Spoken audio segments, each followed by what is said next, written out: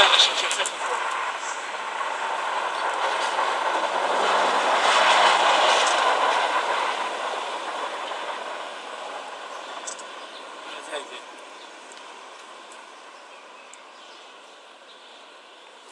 Deməli, hal-hazırda biz Ekologiya Nazirliyinin həyətindəyik və burada yığılma səbəbi ondan ibarətdir ki, ölkə yenidən Sumqayıtda və Hövsan qəsəbəsində e, heyvanların, itlərin belə deyək, kütləvi güllələnməsi baş verir. Biz bu ilə bağlı müvafiq icra hakimiyyətlərinə, yəni Sumqayıt icra hakimiyyətinə müraciət etmişik, lakin onlar bildirirlər ki, bu tədbiri görən onlar deyirlər, hansı mülki şəxslərdir. Mülki şəxslər əgər bunu edirlərsə, siz də bildiyinizə görə, deməli bu cinayət əməlidir və cinayət işi açılmalıdır. Çünki nə mülki şəxs nə silah saxlaya bilər, nə silahla şəhərin ortasında gəzə bilər, nə də o odlu silahdan istifadə edə bilər.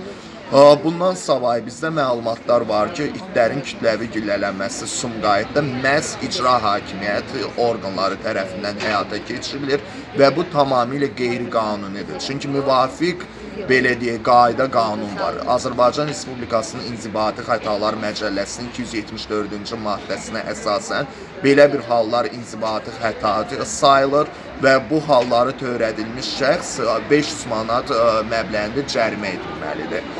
Bundan savayı Azərbaycan Respublikasının 2007-ci ildə Avropa Konvensiyasını qəbul edib və öhdəliyinə heyvanların müdafiəsini götürübdür və təmin etməlidir.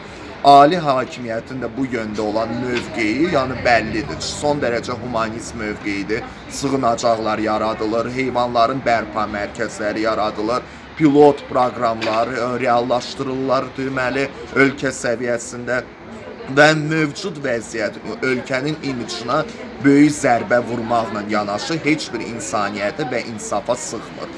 Bunun deməli ə, bu məsələləri məsələ belə bir hallar cəmiyyətimizdə olmamalıdır və olmaması üçün Daxili İşlər Nazirliyi öhdəsinə düşən tədbirləri görməlidirlər qanun çərçivəsində.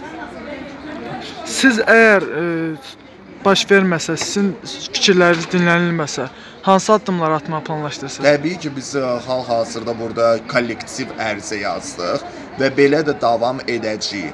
Və əgər heç bir tədbir görülməsə, biz təbii ki, ölkənin ali rəhbərliyinə müraciət edəcəyik və heyvanların haqqlarını müdafiə etməyə davam edəcəyik. Çünki bu ümumiyyətlə bizim a- insani borcumuzdur.